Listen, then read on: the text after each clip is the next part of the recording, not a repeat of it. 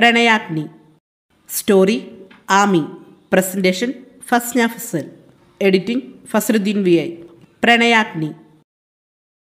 ശിവ ഡാനിയെ മാറ്റി നിർത്തി ഗ്ലാസ്സിൽ പകർന്നു വച്ചിരുന്ന മദ്യം എടുത്തു കുടിച്ചു. പോക്കറ്റിൽ നിന്നൊരു സിഗരറ്റ് എടുത്ത് വലിച്ചുകൊണ്ട് ശിവ കുറച്ചുമായി ഒരു കല്ലിൽ കയറിയിരുന്നു. അവന്റെ പ്രവൃത്തികളിൽ നിന്ന് തന്നെ ഡാനിക്ക് അവന്റെ മനസ്സ് അസ്വസ്ഥമാണെന്ന് മനസ്സിലായി. കയ്യിലെ ഗ്ലാസ് അവിടെ വച്ച് ഡാനിയും ശിവയുടെ അടുത്ത് പോയിരുന്നു. അവളെ സ്വീകരിക്കുന്നതിന് നിനക്ക് എന്താ തടസ്സം? ഒരുപാടുണ്ട്. അവളെ കിട്ടുന്നത് എന്റെ ഭാഗ്യമാണ് പക്ഷേ അവൾക്കങ്ങനെയല്ല. ഒരു ഭാഗ്യം തട്ടിയെറിഞ്ഞാണ് അവൾ ഒന്നുമല്ലാത്ത എന്നെ സ്വീകരിക്കുന്നത്. ഒരിക്കലും അവൾക്ക് കുറ്റബോധം തോന്നിയ? നിന്നെക്കുറിച്ച് എല്ലാം അറിഞ്ഞിട്ടല്ലേടാ അവൾ. ഇനി അവളെക്കുറിച്ചൊരു സംസാരം നമുക്കിടയിൽ വേണ്ട. എപ്പോൾ അവളെക്കുറിച്ച് പറഞ്ഞാലും നീ ഇങ്ങനെ പറഞ്ഞ് ഒഴിയാൻ നോക്കും. ഇന്ന് ഇതിന് തീരുമാനം ഉണ്ടാക്കണം. നിന്റെ പ്രേമം കാരണം എന്റെ രണ്ട് പല്ല പോയത്. ഡാനി ദേഷ്യത്തിൽ എഴുന്നേറ്റുകൊണ്ട് പറഞ്ഞതും ശിവ അവനെ നോക്കി ചിരിച്ചു. അതുകൂടെ കണ്ടതോടെ ഡാനി അവനെ ഒന്ന് കനപ്പിച്ചു നോക്കി. നീ ഇനി ഒന്നും പറയണ്ട.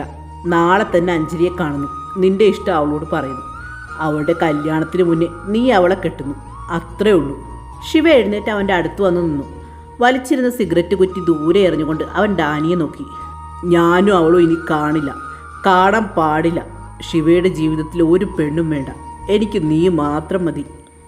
അയ്യേ ഞാൻ അത്തരക്കാരൻ നെഹിഹേ. ഡാനി നെഞ്ചത്ത് കൈവച്ചുകൊണ്ട് പറഞ്ഞതും ശിവ അവനെ കുനിച്ചു നിർത്തി മുതുകിൽ പതിയെ ഇടിച്ചു. അവരുടെ അടിപിടി കണ്ട് അവരുടെ ആളുകളെല്ലാം നോക്കി ചിരിച്ചു. ആ സമയമാണ് ശിവയുടെ ഫോൺ റിങ് ചെയ്തത്. ശാലിനിയായിരുന്നു. ശിവ ഫോൺ എടുത്തു. ഡാനി ചുമലിളക്കിക്കൊണ്ട് ശിവയെ നോക്കി. ശിവേട്ടാ. ആ പറമോളെ ഏട്ടാ ഏട്ടൻ നാളെ ഒന്ന് ഇവിടെ വരെ വരുമോ എന്താ? എന്തെങ്കിലും പ്രശ്നമുണ്ടോ? ഏയ് അല്ല. നാളെ ഇവിടെ ഒരു ചെറിയ ചടങ്ങുണ്ട്. ഒരു പൂജയും മറ്റും. അഞ്ജലിയുടെ വിവാഹത്തിനോട് വിവാഹത്തിനോടനുബന്ധമായിട്ടാണ് അത് കേട്ടതും ശിവയുടെ ഹൃദയമിടിപ്പ് നിൽക്കുന്നത് പോലെ തോന്നി. ശ്വാസം വലിച്ചു വിട്ട് അവൻ മറുപടി പറയാതെ നിന്നു. അവളുടെ ചെക്കന്റെ വീട്ടുകാരൊക്കെ വരുന്നുണ്ട്. അമ്മയെ വിളിച്ചു വരാൻ പറഞ്ഞപ്പോൾ അമ്മയ്ക്ക് മുട്ടുവേദനയാണെന്ന് അമ്മയാ ശിവേട്ടനെ വിളിക്കാൻ പറഞ്ഞത്. ഞാൻ എനിക്ക് നാളെ കുറച്ച് തിരക്കുണ്ടായിരുന്നു. പ്ലീസ് ഏട്ടാ എല്ലാവരും വരും. എന്റെ വീട്ടിൽ നിന്ന് മാത്രം ആരും ഇല്ലെങ്കിൽ എനിക്ക് സങ്കടമാവും അത് ഒഴിവ് പറയില്ല ശിവേട്ടാ. ഞാൻ വരാം. അത്രയും പറഞ്ഞ് ശിവ ഫോൺ കട്ടാക്കി. ശിവ നേരെ പോയി മദ്യക്കുപ്പി എടുത്ത് വായിലേക്ക് കമിഴ്ത്തി. പെട്ടെന്ന് അവന് വന്ന മാറ്റം നോക്കിക്കാണുകയായിരുന്നു ഡാനി. കുപ്പിയിലെ മുഴുവൻ കുടിച്ചു കഴിഞ്ഞ് ശിവ ദേഷ്യത്തിൽ തല കുടഞ്ഞു. എന്താടാ? നാളെ അങ്ങോട്ട് ചെല്ലാൻ അവിടെ എന്തോ കോപ്പിലെ പരിപാടി ഉണ്ടെന്ന് അടിപൊളി. ഇനി തമ്മിൽ കാണില്ലെന്ന് പറഞ്ഞ് ഒരു നിമിഷം ആയില്ല. അപ്പോഴേക്കും കാണാനുള്ള അവസരം വന്നത് നോക്കി ഞാൻ പോകുന്നില്ല. നീ പോയാൽ മതി. അയ്യടാ. നിന്റെ പെണ്ണെന്ന് പറഞ്ഞാൽ എനിക്കെന്റെ ഏട്ടത്തിയമ്മയെ പോലെയാ ഞാൻ നോക്കില്ല. ഡാ തെണ്ടി.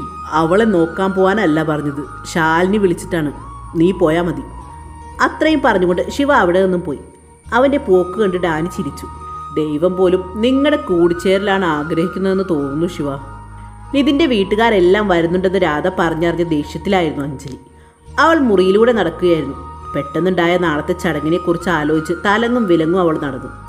ഇന്ന് രാവിലെ വരെ ഇല്ലാത്ത പൂജ ഇത് എന്താ ഇത്ര പെട്ടെന്ന് നടത്താൻ നോക്കുന്നത്? അതും രമേശ് ഇല്ലാത്ത അവസരത്തിൽ പോലും. അഞ്ജലിയുടെ വക്രബുദ്ധിയിൽ പലതും തെളിഞ്ഞു. ആ സമയം തന്നെ അവൾ ഗൗതമിനെ വിളിച്ചു. രാത്രി ഏറെ വൈകിയത് കൊണ്ട് അവൻ ഉറങ്ങിയിട്ടുണ്ടാവുമെന്ന് അഞ്ജലിക്ക് അറിയാമായിരുന്നു. രണ്ടു വട്ടം റിങ് ചെയ്ത് കട്ടായതിന് ശേഷമാണ് ഗൗതം ഫോൺ എടുത്തത്. എന്താടി മനുഷ്യനെ ഒന്ന് ഉറങ്ങാനും സമ്മതിക്കില്ലേ? നീ ഇപ്പോൾ ഉറങ്ങണ്ട.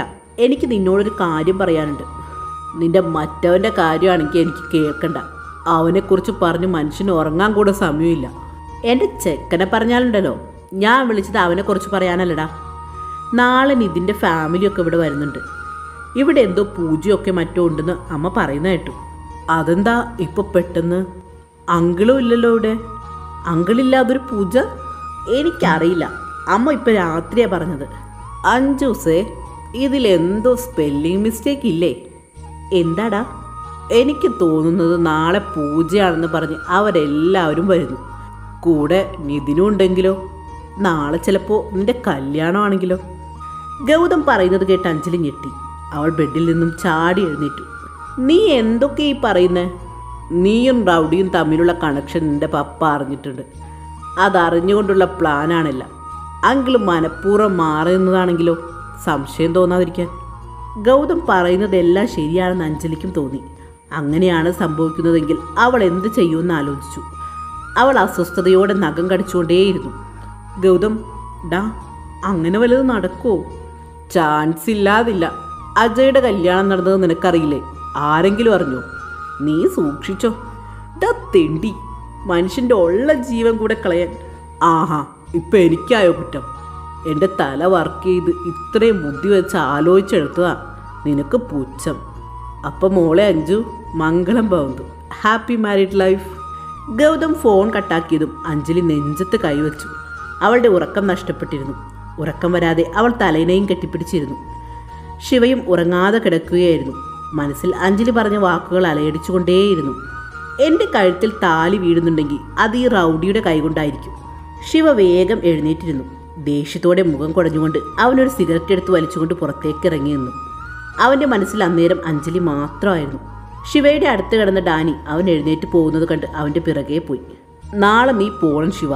നിന്റെ മനസ്സിൽ എന്താ ഉള്ളതെന്ന് വെച്ചാൽ അഞ്ജലിയോട് നീ തുറന്നു പറ.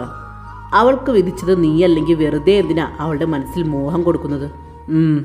പോണം. അഞ്ജലിയെ കാണണം. ശിവ സിഗരറ്റ് പുക ഊതി വിട്ടുകൊണ്ട് പറഞ്ഞു.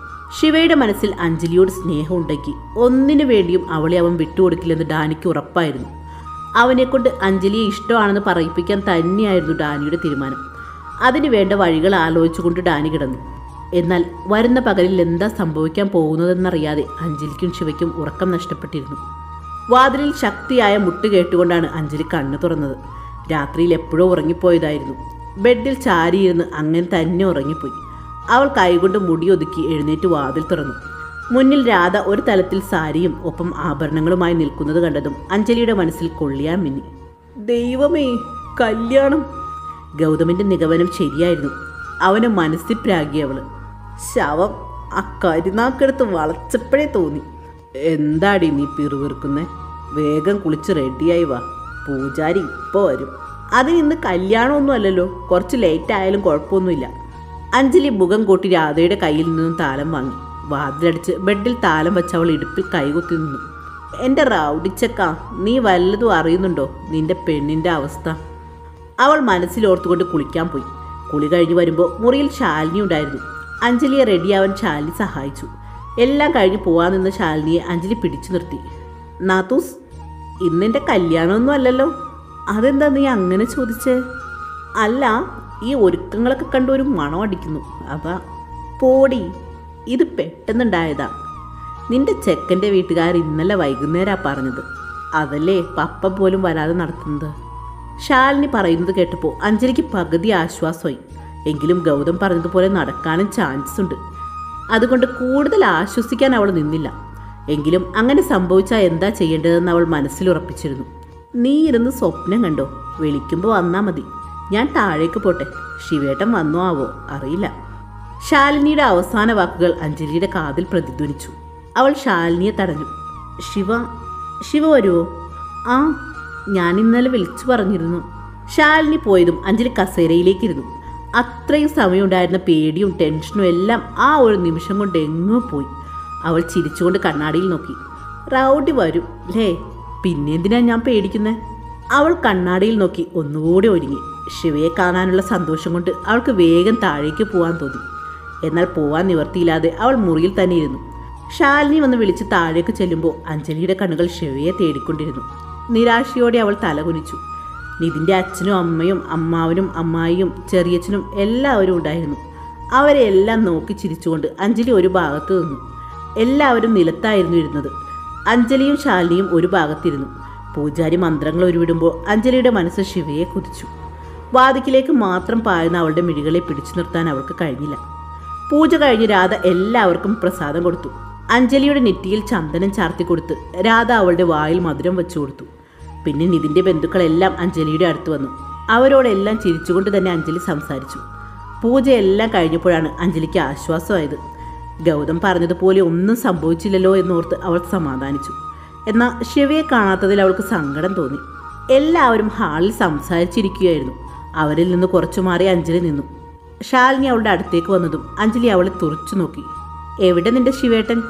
അത് തന്നെയാണ് ഞാനും നോക്കുന്നത് കണ്ടില്ല. ഇനി വല്ല തിരക്കും ആവും. പിന്നെ ഇന്ത്യൻ പ്രധാനമന്ത്രിയല്ലേ? നീ എന്തിനാ എന്നോട് ചൂടാവുന്നത് ശിവേട്ടൻ വരാനിട്ട് നിനക്കെന്താ? ആ അത് പിന്നെ എനിക്കൊന്നുമില്ല. അല്ല നിന്റെ കാര്യത്തിൽ ഒരു ഉത്തരവാദിത്വമില്ല അത് പറഞ്ഞതാ. അഞ്ജലി ശാലിനിയിൽ നിന്നും വേഗം മുഖം തിരിച്ചു. കള്ളത്തരംഗം പിടിച്ചാലോ എന്നോർത്ത്.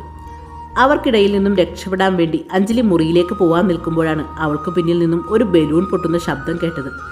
അഞ്ജലി ഞെട്ടി ചെവിയിൽ കൈവച്ച് തിരിഞ്ഞു നോക്കി. പിറകെ നിൽക്കുന്ന ആളെ കണ്ട് അവൾ തരിച്ചുപോയി. നിധി യെസ് ഡാർലിംഗ്. നിന്റെ സ്നേഹത്തിന്റെ അവകാശി എത്തിയിരിക്കുന്നു. ചിരിച്ചുകൊണ്ട് പറയുന്ന നിധിനെ കണ്ട് അഞ്ജലി ആശ്ചര്യപ്പെട്ടു. അവനെ അത്രയും സന്തോഷത്തോടെ ആദ്യമായാണ് അവൾ കാണുന്നത്. എൻഗേജ്മെന്റിന് പോലും അവൻ ഇതുപോലെ ചിരിച്ചിട്ടില്ല. അഞ്ജലി അവനെ നോക്കിക്കാണുകയായിരുന്നു ചുറ്റുമുള്ളവരുടെ അമ്പരപ്പ് കണ്ടപ്പോൾ അഞ്ജലിക്ക് മനസ്സിലായി ആർക്കും അറിയില്ല നിതിൻ വരുന്നതിനെ കുറിച്ചെന്ന് നിതിൻ അഞ്ജലിയുടെ അടുത്ത് വന്ന് അവളുടെ കൈ പിടിച്ചു. അഞ്ജലി അവനെ നോക്കി ചിരിക്കാൻ ശ്രമിച്ചു. ഒട്ടും പ്രതീക്ഷിക്കാതെ അടുത്ത നിമിഷം നിതിൻ അവളെ കെട്ടിപ്പിടിച്ചു. അഞ്ജലി തറഞ്ഞു നിന്നുപോയി. ആ നിമിഷം അവളുടെ മിഴികൾ പാഞ്ഞത് വാദിക്കൽ നിൽക്കുന്ന ശിവയിലേക്കാണ്. കത്തുന്ന മിഴികളോടെ ശിവ അവരെ നോക്കി നിന്നു. കൈമുഷ്ടി ചുരുട്ടി അവൻ സ്വയം നിയന്ത്രിച്ചു. സന്തോഷിക്കണോ കരയണോ എന്നറിയാത്ത അവസ്ഥയിൽ അഞ്ജലി അവനെ നോക്കി. പിന്നെ ഒരു നിമിഷം പോലും അവിടെ നിൽക്കാതെ ശിവ ഇറങ്ങി പോകുന്നത് നിർവികാരതയോടെ നോക്കി നിൽക്കാനേ അഞ്ജലിക്ക് കഴിഞ്ഞുള്ളൂ. തുടരും.